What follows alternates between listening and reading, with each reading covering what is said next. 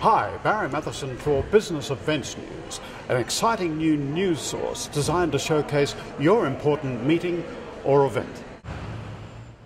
In our first report, we feature Sydney's Sheraton on the Park, winner of a host of major tourism awards, including Leading Conference Hotel of the Year three years running and Best Luxury Hotel at the recent New South Wales Tourism Awards. Managing Director Sean Hunt says more and more his hotel is focusing on the all important MICE market. So Sheraton on the Park, it's um, it's the largest segment uh, we have. It's about 43% of our business. This year we'll do over 50,000 MICE room nights in this hotel alone. Across our three Sydney hotels, we'll do over 100,000 uh, group room nights. So it's a huge part of our business. I think companies are, are, are um, putting a real focus on getting together, setting strategy, and you know, trying to own the upswing as they as they come out of um, you know what, what, was a pretty tough time in 2008 2009.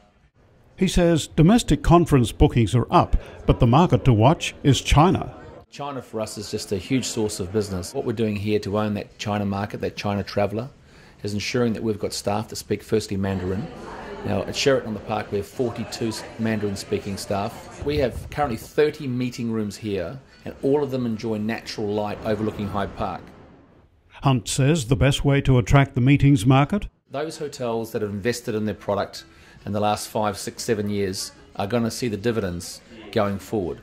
And I think, you know, Sheraton the Park, we spent $40 million on this property in the last seven years. And as you can see, this wonderful executive lounge you're currently sitting on level 21, our, our, our luxurious suites, of which we have 50. To ensure it stays ahead of the pack, Sheraton on the Park has upgraded its IT network and now has the fastest internet in Sydney. We're going to a 70 meg line standard, but customers can ramp up to a 1000 meg line. High speed internet access and wireless is something which is um, going to become more and more important, and we're trying to get ahead of the curve with that. And the secret to success in capturing the MICE market? Uh, we spend a lot of money on training our people, retaining our people, because time and time again the customer tells us when they return back to the same hotel, they like to see familiar faces they like to deal with the people they dealt with on previous um, uh, meetings and conferences because there's that sense of familiarity and that sense that we understand them. So I think I think staffing is important. I think uh, personalising the uh, meeting experience for the customer very very important, and and finally product.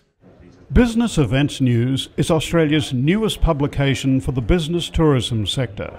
Published every Monday, Wednesday, and Friday, it contains all the latest information on the conferences, meetings, and incentives and events sector for the Australian industry. For more information or a free subscription, see businesseventsnews.com.au.